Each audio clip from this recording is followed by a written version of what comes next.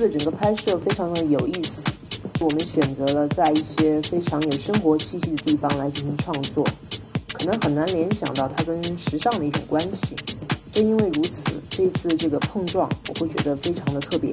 难度最大的地方，我觉得都是在于外景的把控，因为像去到菜市场，肯定有很多爷爷奶奶的围观。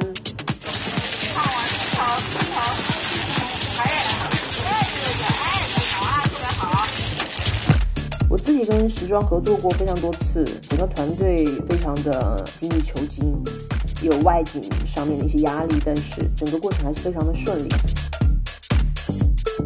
我们灵感来自于他的老家成都，然后他这个是一个非常时尚前沿的 icon，然后我们把这两种语言完全结合在一起。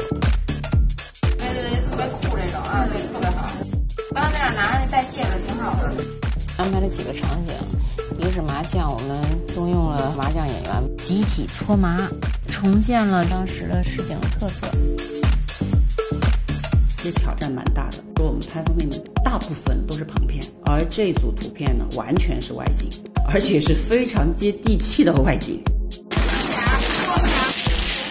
在现场拍的时候，条件都很艰苦的，但是 high fashion 和 real life 的融合与对撞的一个主题，拍的时候大家都很兴奋。